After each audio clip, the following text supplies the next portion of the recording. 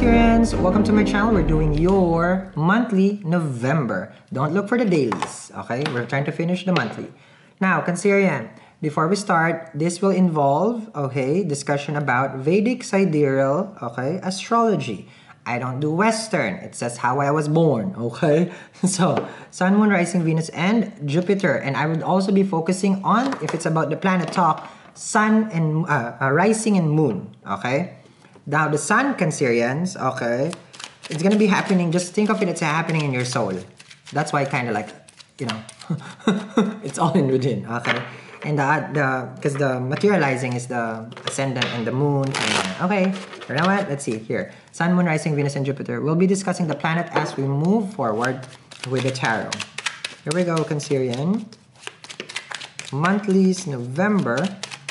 Here we go. You have here two of wands. Okay. Torn between two lovers. Feeling like a fool. Why? Now, who's these lovers? I love myself. Do I love them more than myself?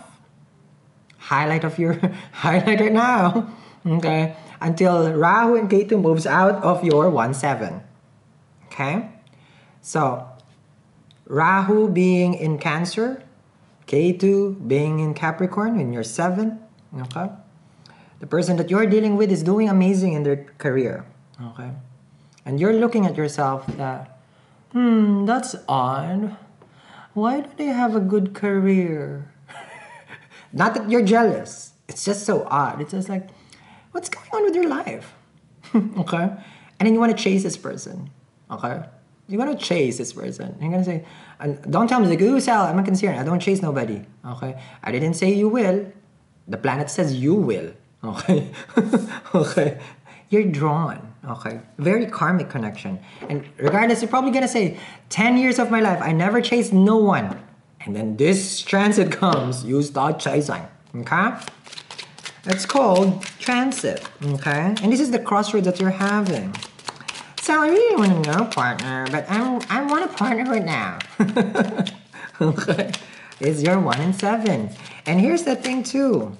This person, considering your, your charts and you know planets align, they feel the same with you, way with you. Mm-hmm. Other person, Ace of Coins, Pentacles, career, right? Opportunity, blessing, dating. This is my um, I want to date you, spend time with you card. Ace of Coins, Earth Energy, which is in your Capricorn side. Your basically seventh house, right? So it's highlighting here minor arcana for the Sun card. Okay. Wait. Okay. You're looking at this person as a big opportunity of your life. Vice versa for a cross watcher. Because this person is looking at this pentacle. Engagement can be partnership. Let's see. Seven of Cups, Rahu. Mm, told you. Mm. Seven of Cups for me is your Rahu. You're realizing, okay, because you're focusing on yourself. You're focusing on yourself. But the more you focus on yourself, okay, the more you don't understand yourself. Okay? And it's like, what? And then that's what you had, literally. What? and then you start thinking, wait, so am I gonna be alone by myself the whole time, Sal? Am I gonna grow old by myself? And you have all these things going inside your head. All these things go inside your head. Remember, okay, Cancer and Moon, okay, you're gonna look at it and like, oh my god, like Sal, what are you telling me? it's your Rahu. Okay, don't be scared. Don't be scared. Okay, it's it's a smoke thing. You can't see through it right now, and then it's asking you, okay, to go to your partner. Okay, now your partner is controlling. Your partner tries to restrict you. Okay? So you go again to yourself. It's your Ketu. The universe. the world card. Okay, how it is affecting you. Here you go, Cancerian. Can be distance between the two of you. There was something that got finished. Also, this is universe is wrapping up and starting new. Saturn. Saturn in Ace in Ace of Coins over here.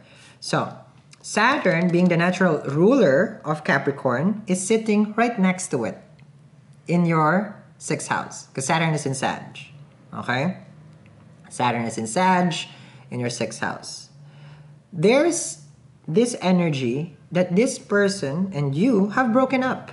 Okay? And it's like, oh, yeah, that's so true, Sal. We've broken up. And yet they linger. Okay? Why? Okay? Because they're just next door. They probably live next door.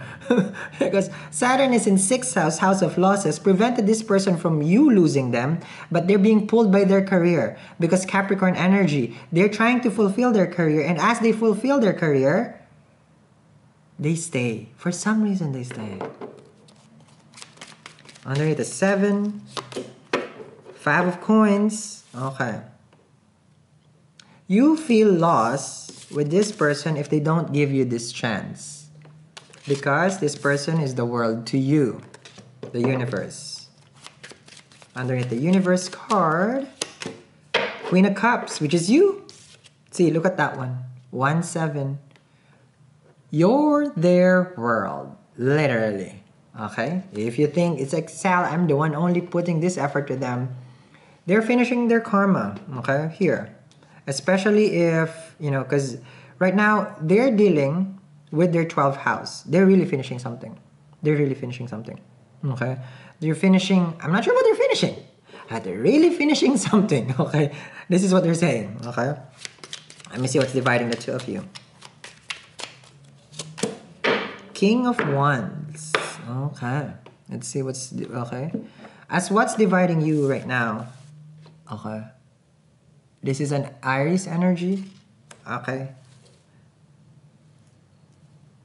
I feel that both needs to stand up and rise to the occasion. The King of Wands is a chaser. I'm not saying that you have to chase this person. But the draw, the pull to chase this energy, okay,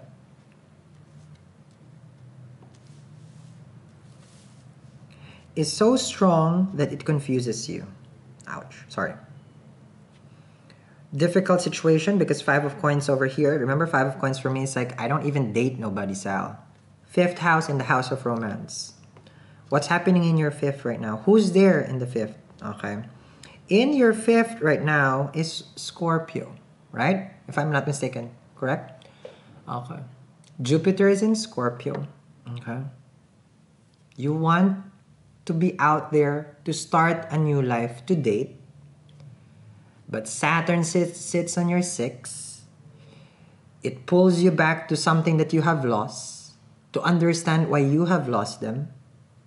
Puts you now in Ketu in the seventh okay, makes you feel like this person is holding on to me, Sal, and I really want to just date and be happy, be creative with my life, explore, da da da, do what makes me happy.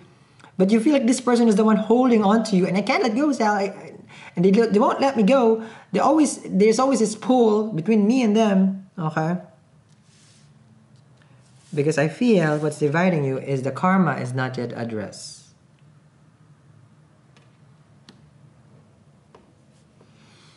Here's what's happening.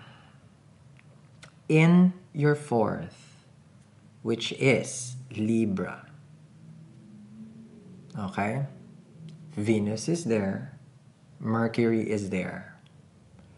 You need to communicate from the heart. Mercury is gonna go. Um, Mercury is gonna go retrograde. Okay, and Venus is gonna go ret, uh, direct also. But okay, I'm running low here. But I'm going to continue this reading though with regards to that part. As we move forward on this energy, Cancerian, um, link down there in the description box how we manage through this, dealing with this person. Um, Aquarius, Taurus, Leo, Scorpio, of course. Um, thank you very much, guys, for watching. I will see you guys again, Cancerians. Bye, guys.